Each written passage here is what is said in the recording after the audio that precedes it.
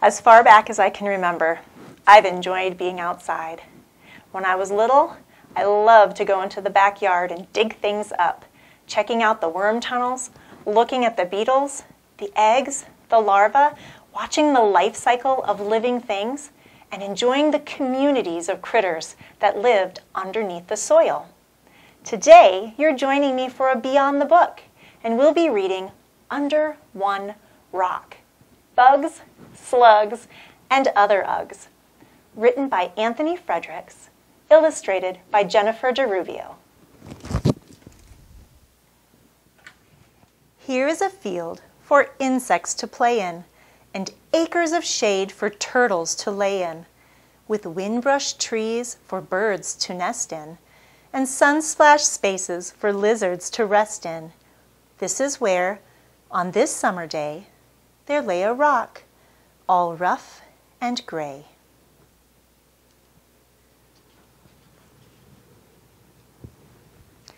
This is the rock.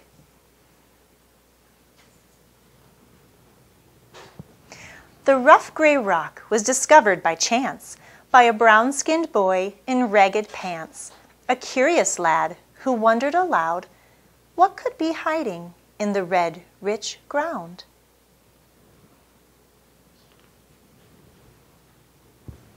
He lifted the rock, all rough and gray, that he saw in the field on that summer's day, and there he found some varied creatures, a village of animals with special features.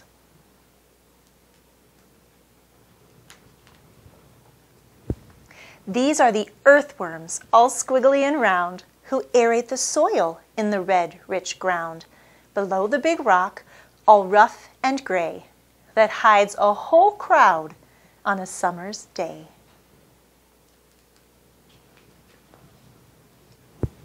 This is the army of hundreds of ants who dig twisting tunnels and farm tiny plants. Neighbors to earthworms, all squiggly and round, who aerate the soil in the red, rich ground, below the big rock, all rough and gray, that hides a whole crowd on a summer's day.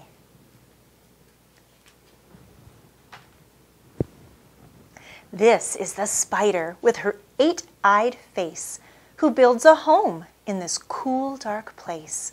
A home near the army of hundreds of ants who dig twisting tunnels and farm tiny plants.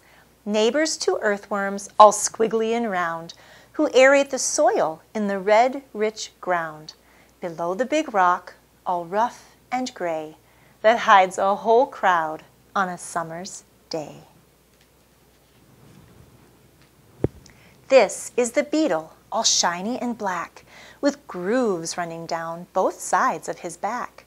A friend of the spider with her eight-eyed face, they live side by side in this cool, dark place, a home near the army of hundreds of ants who dig twisting tunnels and farm tiny plants neighbors to earthworms, all squiggly and round, who aerate the soil in the red, rich ground, below the big rock, all rough and gray, that hides a whole crowd on a summer's day.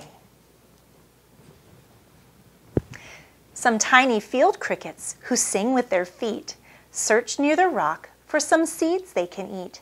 They live with the beetle, all shiny and black, with grooves running down both sides of his back. A friend of the spider with an eight-eyed face, they live side by side in this cool, dark place, a home near the army of hundreds of ants who dig twisting tunnels and farm tiny plants.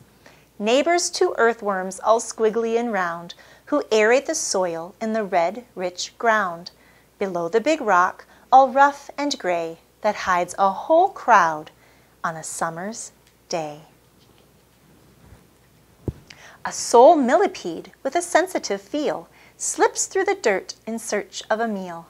He plows by the crickets who sing with their feet and search near the rock for some seeds they can eat. They live with the beetle, all shiny and black, with grooves running down both sides of his back. He's a friend of the spider with her eight-eyed face. They live side by side in this cool, dark place a home near the army of hundreds of ants who dig twisting tunnels and farm tiny plants. Neighbors to earthworms all squiggly and round, who aerate the soil in the red, rich ground. Below the big rock, all rough and gray, that hides a whole crowd on a summer's day. These six tiny slugs, all covered with slime, creep over soil, eating most of the time. Past one millipede with a sensitive feel, who slips through the dirt in search of a meal, and plows past the crickets who sing with their feet, that search near the rock for some seeds they can eat. They live with the beetle all shiny and black, with grooves running down both sides of his back. He's a friend of the spider with her eight-eyed face. They live side by side in this cool, dark place, a home near the army of hundreds of ants who dig twisting tunnels and farm tiny plants. Neighbors to earthworms, all squiggly and round, who aerate the soil in the red, rich ground. Below the big rock, all rough and gray, that hides a whole crowd on a summer's day. The creatures and critters live together as one beneath the gray rock, away from the sun. A collection of neighbors, the large and the small, and the place where they live is home to them all. It was fun sharing this book with you today. Now I invite you to come along as we move into our next adventure, getting to know the critters that live underneath the soil. And today I'm joined by my daughter, Miriam. After reading a few books about critters that live under rocks, under logs, and in the soil, we've decided today that we'd make a couple of potato traps. Potato traps are something that gardeners might use to attract little critters and remove them from the garden to protect their young plants and seedlings as they grow. But potato traps are also really great at attracting those critters so that we can observe them. Today, we're going to show you how to make a potato trap, and then we'll follow our potato trap over a couple of days out in our backyard. Miriam, have you made a potato trap before? Yes, I have a couple years ago at Quarry Hill. Oh, okay. So, can you lead us through the instructions on how to make a potato trap? Sure. First, you cut it in half, and then you scoop out the inside, but don't get too close to the skin Okay. and then it, you set it out in a garden or anywhere that has good soil to see what you find. All right. So I'm going to do the part where we're cutting the potato in half. We're going to cut it in half the long way. So I'll do that part. Oh, that's a crispy potato. And Miriam, you'll get the scooper ready. So now I have two long halves of the potato. I'll give Miriam this long half. And you said next we're going to scoop out the insides? Yeah. But not too close to the skin? Mm -hmm. Okay, let's see how you do it. Ooh, nice. Oh, I like how you turned the scooper around. Oh, look at that. So you don't just do one. No. Okay, you keep going. You have to have enough space.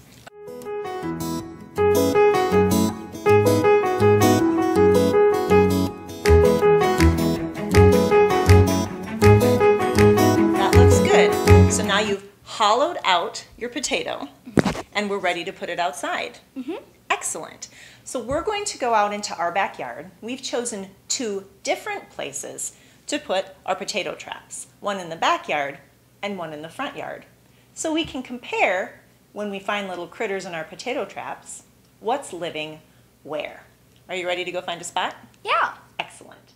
All right, we're outside and we're ready to put our potato traps out. Miriam, you got the traps? Yeah. All right, nicely done.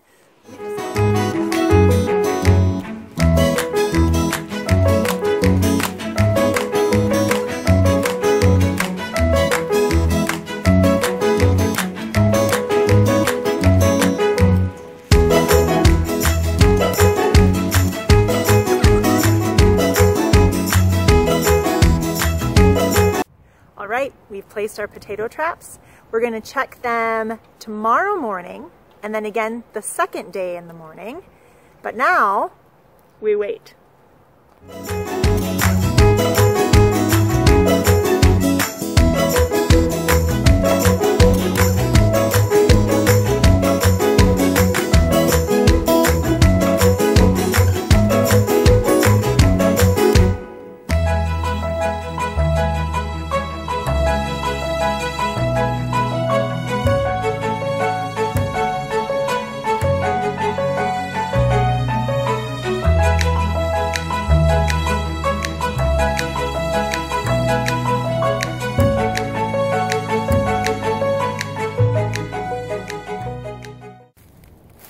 All right, here's potato trap number two. See anything yet? No. You're gonna move some of the mulch away? That's a good idea. All right, we'll go ahead and put it back and check another day. All right, we're gonna check potato trap number one on day two. Oh, interesting. Miriam, what did you find? Uh, a potato that's turned over. So did you see the deer in our backyard last night, Miriam? Yeah, I did. They were rooting all around and looking for things to eat, and I wonder if they were curious, came over to look at the potato, turned it over, and then left it. That's interesting. What are you going to do? I'm gonna turn it back over and leave it for tomorrow. Okay, sounds great.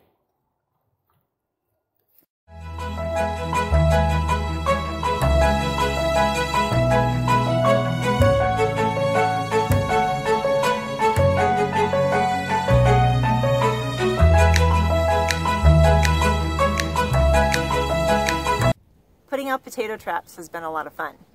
We've asked some of our Quarry Hill staff if they'd put potato traps in their backyards. Let's check in with them and see what they found. Hey everyone, it's Jill from Quarry Hill, and I'm about to go check my potato trap. This is the one I put by the log, and I can see there's a little beetle larva in there. It's even been chewing and eating some of the potato. But here he is.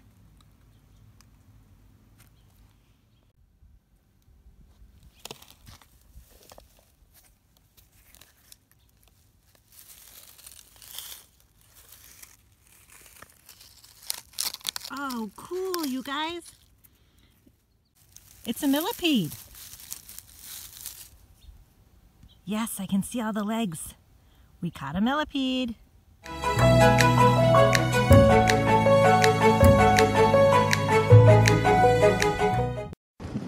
Okay, so here is trap number one. Addie going to check she hit it under the rhubarb.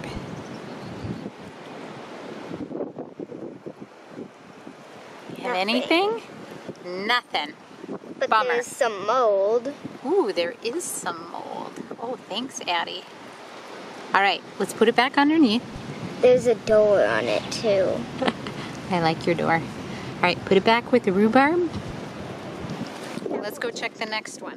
Potato trap number four. Uh, just some mold. Nothing. Hey, there's a little bug. He's down there. Oh, there's a tiny little bug. Let's see if we can get it. Tiny. There's that one teensy weensy Can you bug. see it running around?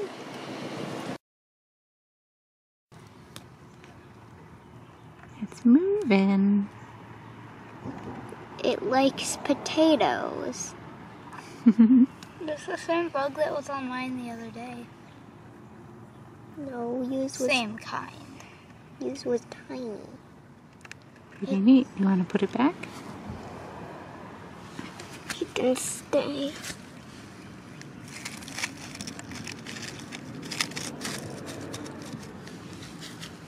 Check Kirk's potato trap. Let's take a look.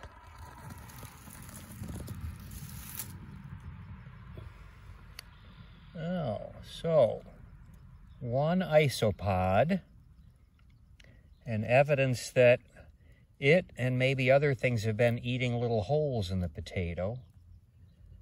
I'll put it back.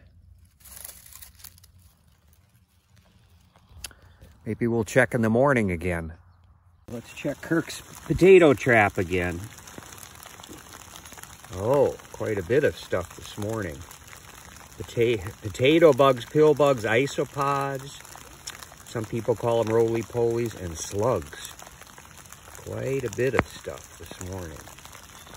Cool.